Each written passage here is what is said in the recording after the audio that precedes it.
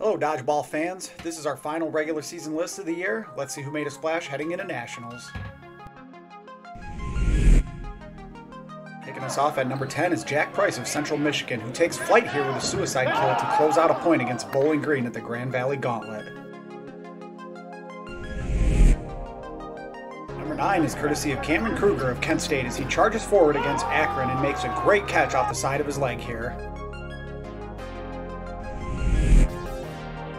Number 8 is a team effort from the Falcons of Bowling Green as they cap off their trip to Allendale with a big win over Cincinnati in overtime.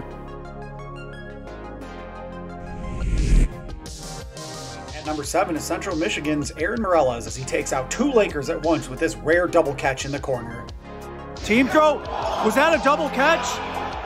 That is a double catch in the corner. We got it on film. Let's go. What a catch. Na na na. JJ Oldenburg catches this ball from hard throwing Alden Prohaska off his face to keep Kent alive against the Buckeyes as they were able to take this point before the half. Unfortunately for the Golden Flashes, they would fall short 3 to 1. If you blink, you might miss our number 5 play from Nick Foss here, who leans over the throw line to attempt to catch before falling out of bounds. You be the judge. Should this one count? Well, I'm gonna go and say.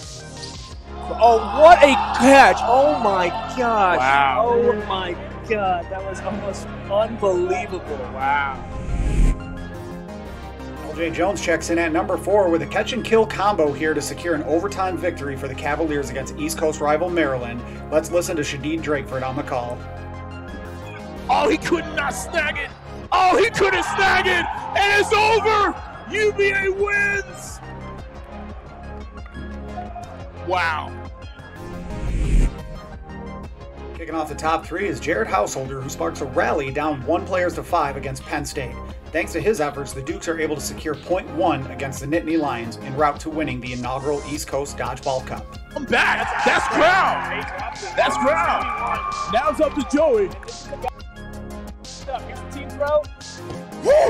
Connects. There it is. There it is. Incredible. Incredible. Doesn't get more electric than our number two play, which features a one on one in overtime. After two initial throws collide, Akron's Carter Crawford is able to gather himself and secure the win for the Zips, extending their home winning streak and defending their turf at the War. Oh, oh,